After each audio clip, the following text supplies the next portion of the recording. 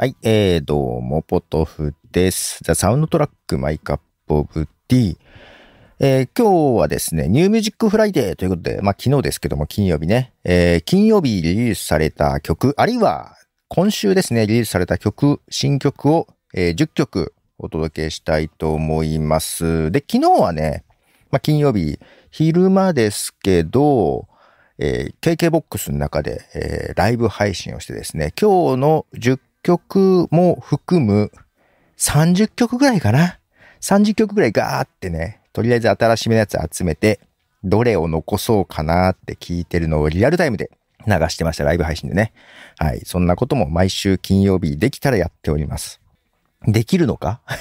これね、朝、朝ね、起きて、ダーって入れてくのが成功したら昼間できる。で30曲さな、えーなんか選んで流しててさ、そっから絞るの大変でしたが、まあ、バッサリバッサリ切っていったりしつつで、残った10曲をね、はい、なんかハードル上がるね、そういうとね、まあ流そうと思います。まず、1曲目ですね。えーこちら、えー大御所というか、はい、もう大好きです。ポール・ウェラーの新曲です。ポール・ウェラーで、ソウル・ワンダリング。はい、えーポール・ウェラーの新曲ですね。ソウル・ワンダリングという曲です。ポール・ウェラー日本来てたんですね。1月2月と日本に来日公演してたららしいです。6年ぶりに知らなかった。はい。来てたらしいです。名古屋はどこに来てたんだ？ポール・ウェラー、えー、ね、ジャムとかスタイルカウンシルとかのバンドの後ソロ活動しておりますが、はい。もうイギリスのね、えーロックミュージシャンでは、ポール・ウェラーに影響を受けたアーティストも結構いますけども、はい、そんな一曲でした。続いての曲はですね、えーリンキンパークの新曲です。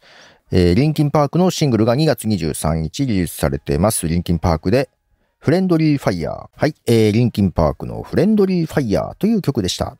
えー次は日本のアーティストです。トアカでメイデン。はい、えー、トアカでメイデンという曲でした。えー、トアカはですね、えっ、と、新海監督の映画、えー、すずめの戸締まりでの曲の主題歌を歌った方ですね。はい。えー、続いては、えー、スイ・フローム・ヨルシカということで、ヨルシカのボーカルでスイさんの曲です。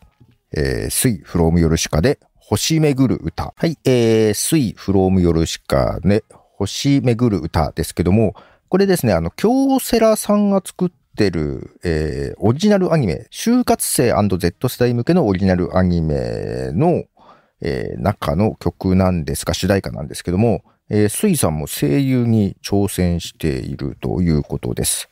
えー続いては、アメリカのアーティストですね、シザというアーティスト、SG、ん ?SZA と書いてシザですね。えーシザの曲、サターン。はい、えーシザのサターンという曲でした。シザはアメリカのアーティストですが、続いてもアメリカのですね、アーティストになります。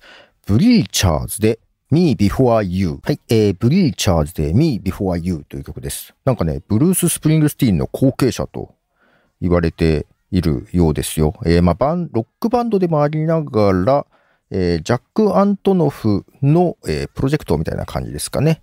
はい。続いては、フライ・バイ・ミッドナイトで Try。はい。えー、フライ・バイ・ミッドナイトで Try という曲ですが、フライ・バイ・ミッドナイトというのは LA 拠点にね、えー活動しているインディーポップのデュオです。二人組ですね。二人組のデュオです。こちらも2024年1月に来日公演があったようですね。結構あの、ポップなところもあって好きな、はい、感じのアーティストです。えー、続いてはイギリスのアーティストですね。カサビアンでコール。はい、えー、カサビアンでコールという曲です。続いてはノルウェーのシンガー兼ソングライターです。アストリッド S というアーティストです。アストリッド・S で First to Go。はい、えー、アストリッド S で First to Go という曲です。はい、ということで今回最後の曲となります10曲目。早いですね、なんか10曲ね。10曲目ですね。こちらはですね、スコットランドのインディロックバンドです。ザ・スナッツで Circles。はい。ということで最後、ザ・スナッツの Circles という曲でした。10曲ね、選びました。いかがでしょうか。えー、なんか30曲とかさ、最初に選んどくとさ、なかなか10曲ってあっという間な気がしますが、ただね、30曲流すとまあまあ大変なので、はい。10曲に絞って、えー、新曲をお届けしました。いかがでしたでしょうか ?KKBOX の方では曲も一緒に流れております。はい。えー、無料ユーザーは、えー、30秒しか曲は流れませんが、1ヶ月ね、あの無料でフルの機能を使えますのでですね、よろしければ一度試してください。ということで、 New Music Friday をお届けしました。ポトフでした。じゃあね。